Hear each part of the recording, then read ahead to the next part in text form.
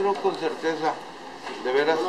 que si ellos van a dictar la ley, pues es muy fácil yo dictar una ley para que afecte a mi vecino y a, mí no. O sea, son los primeros que deben de encabezar el tema para poder tener eh, este, el espíritu positivo que debe reinar cuando yo quiero hacer una modificación en la que posiblemente pudiera perjudicar a alguna persona,